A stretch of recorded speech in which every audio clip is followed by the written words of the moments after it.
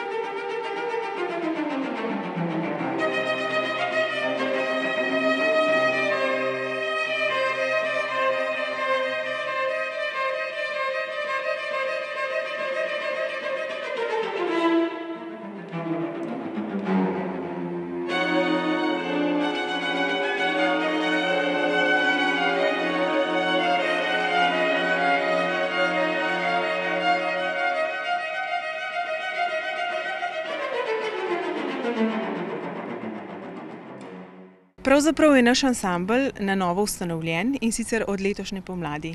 Smo pa vsi člani Orkestra Slovenske filharmonije. smo pa v našo družbo povabili tudi, nekdanjega soločelista orkestra Miloša Mlejnika. Violončelisti igrajo različne stile glasbe in na ta način s svojim energičnim nastopom dvignejo pokonci še tako zahtevno občinstvo.